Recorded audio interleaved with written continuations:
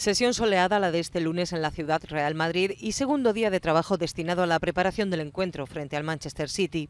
Sin Marcelo e Higuaín recuperando sus respectivas lesiones, ni Essien ni Morata trabajando en el gimnasio, José Mourinho contaba en la sesión con 21 jugadores, 20 del primer equipo y Óscar Plano del Real Madrid Castilla.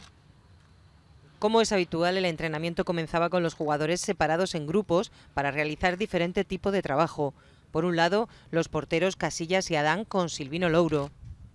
En otro grupo de nueve jugadores, los que acumularon más minutos en el partido frente al Athletic de Bilbao, Pepe, Coentrao, Ramos, Arbeloa, Alonso, Modric, Cristiano, Benzema, más Jesús, que fue titular con el Real Madrid Castilla este domingo.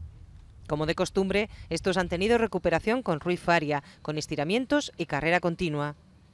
El grupo más numeroso ha trabajado específicamente en un circuito de escaleras horizontales y aros para potenciar la velocidad y la coordinación.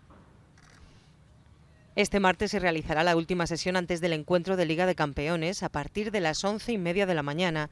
Posteriormente, el equipo volará a Manchester a las 4 de la tarde y a las 7, hora peninsular, llegará la hora de la rueda de prensa en directo en Real Madrid Televisión.